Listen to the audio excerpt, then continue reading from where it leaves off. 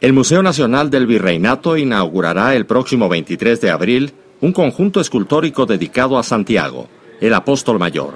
Bajo el título Santiago, un caballero con alma de maíz, la exposición reúne siete piezas entre escultura y pintura que forman parte de la colección del recinto. La colectiva incluye una escultura de Santiago y su caballo con un peso de 55 kilos, la cual fue sometida a un proceso de restauración durante tres años, así como un video de animación en el que se explica paso a paso el proceso de intervención del caballo y el jinete. La pieza estuvo aquí exhibida, ingresó a la colección del museo en 1971.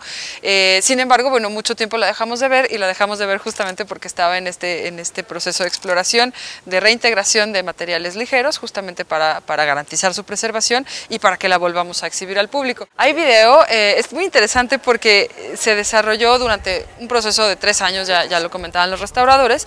Eh, no, no filmaciones, por supuesto que se, se grabó y tal, pero editar lo que pasa a lo largo de tres años cuando no eh, la intención clara de exponer a mediano plazo, bueno, pues es difícil. Entonces recurrimos a una animación, ¿no? Se hizo una animación eh, en donde se explicó perfectamente paso a paso el, proceso de intervención de la pieza desde el día 1.